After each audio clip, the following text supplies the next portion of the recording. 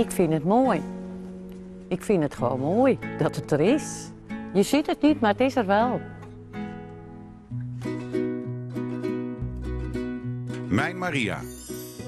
Op zoek naar mooie verhalen over Maria in kapelletjes door het hele land.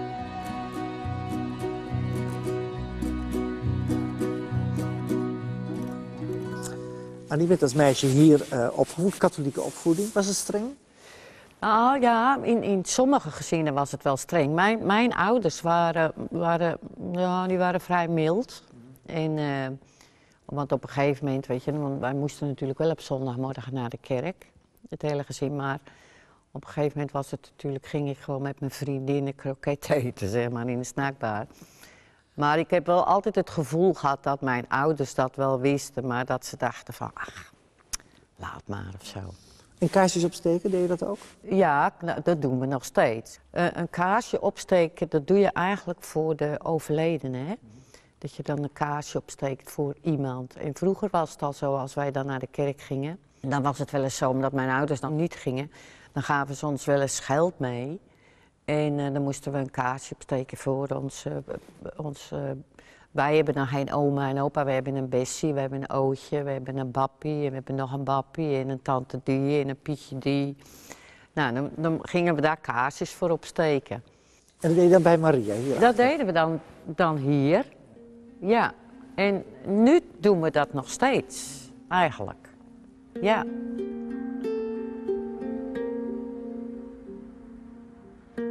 En Maria, wat heb je met Maria? Ja, met, met, met Maria heb ik eigenlijk niet zoveel. Ik heb, je, het is meer het hele plaatje, hè. We hebben de heilige Antonius. We hebben, we hebben er nog wel een paar, hè. Franciscus hebben we. Ja. Antonius, beste vriend, Ja. zorg dat ik mijn Ja. pen weer vind. Ja. En dat, dat deed je ook. Doe je dat nog? Nee, nee, eigenlijk niet. Maar dat kan ik me nog wel herinneren. En dan stak je ook een kaarsje op, want dan, je mocht niet iets vragen zonder een kaarsje op te steken. Dat kon niet. Voort wat, woord wat. Ja, ja. Ik, ah, ik vind dat wel mooi hoor. Ik vind het wel mooi. Heb je het geloof aan je kinderen doorgegeven? Ja, ja ik, heb, ik heb wel, eh, mijn kinderen weten wel eh, wat het katholieke geloof is, ja. Wij zijn er niet eh, slechter van geworden of zo. En ik vind het mooi. Ik vind het gewoon mooi dat het er is.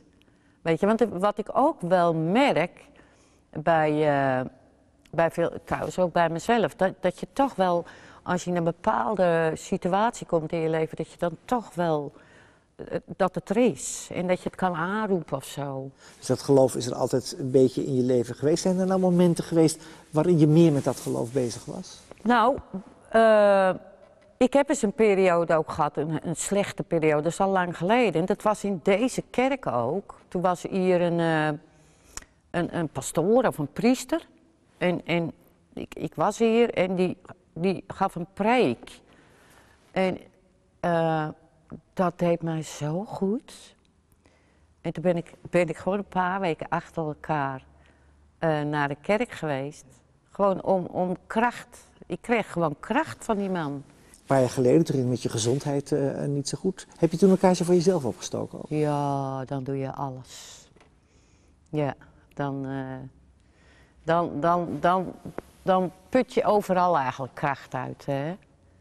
Dan, dan ga je toch wel af en toe, eh, zoek je het wel op.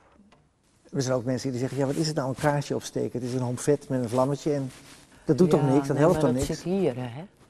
Het zit in je hart, hè, als je dat doet. Ik ga een kaars besteken met een bepaald gevoel. Eh, ja, Dat je aan iemand denkt op zo'n Ja. moment. Ja. ja, dat hebben ze toen ook gedaan. eh, twee jaar geleden dat ik dan ziek was. Toen was, was ook, eh, zeiden ze dat ook. Ja, nou, dat, dat doet mij goed. Dat geeft mij kracht. Dat geeft je kracht. Dat gebaar dat iemand anders voor jou een kaarsje ja, opsteekt. Ja, ja, ja. En dat vind ik wel mooi dat dat er is. Je ziet het niet, maar het is er wel. Snap je?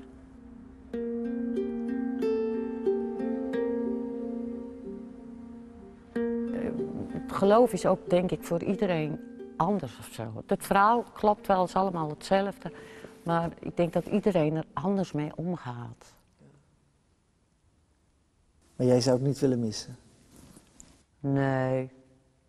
Nee hoor, want ik. eh, nee, het zit, zit er zo in gebakken. In alle Volendammers lijkt wel. Ja, Volendam is een katholiek dorp. Het is ook wel een mooi beeldje van Maria. Ik vind het wel lief. Ja, nou ja, zo hoort het ook. Lieve moeder. Ja. Zo horen moeders te zijn. Ja.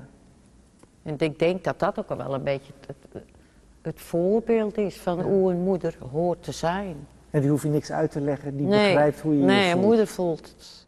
Ja, ja. Dat, eh, de- dat zeg ik ook altijd tegen mijn kinderen. Je hoeft mij niks uit te leggen, want ik voel het al als je het klink van de deur in je hand hebt. Dat had mijn moeder precies hetzelfde.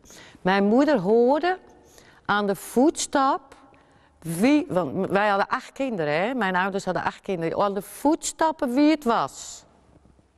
Ja, en dat vind ik, dat is een moeder.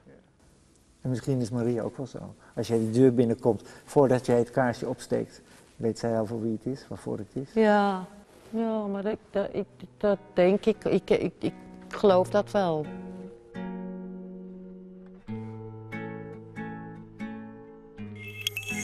Dan, dan, dan, dan put je overal eigenlijk kracht uit. Hè?